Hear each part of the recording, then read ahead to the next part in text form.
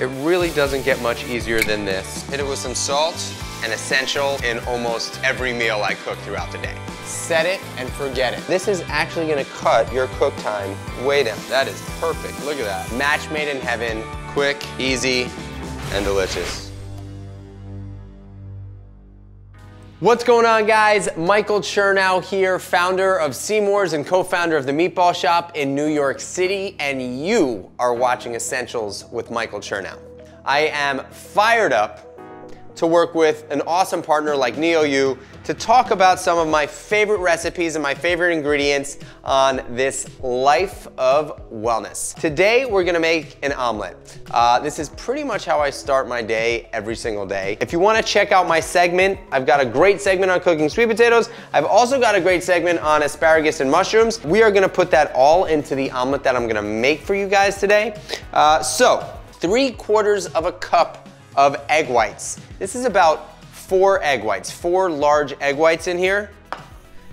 And I throw one whole egg in, some spinach. I like to just give it a nice little chop, all right? Stem and all.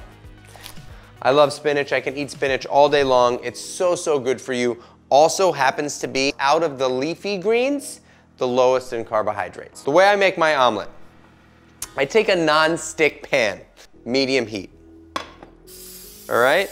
I actually, instead of using regular olive oil, I use a spray coconut oil when I make my omelets. So I put my spinach in here, and this is gonna go really fast. This is about, I don't know, maybe seven minutes all in. Got my spinach going. I immediately put in my egg whites. Okay. I put my egg in there. Whole egg, and then I season. Take my rubber spatula and I give it a nice mix. I make sure that everything is cooked evenly. And then I cover it.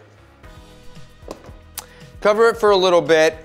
I want those eggs to get nice and fluffy, uh, and that really happens when I cover it. Cover it for about a minute and a half to two minutes, then I add my sweet potato, I add my asparagus, let it cook for another few minutes, and we're done. All right, see you in a few. All right, so now we're gonna take our cooked sweet potato and our cooked asparagus and mushrooms, and we're gonna add them to this omelet.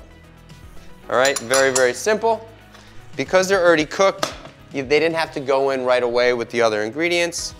I'm gonna cover it back up, let it cook for about another two to three minutes, and that is how I like to start my morning.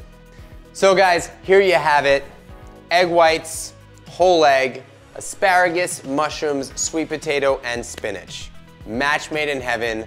Incredible omelet to start your day. I can't thank you enough for checking out Essentials with Michael Chernow.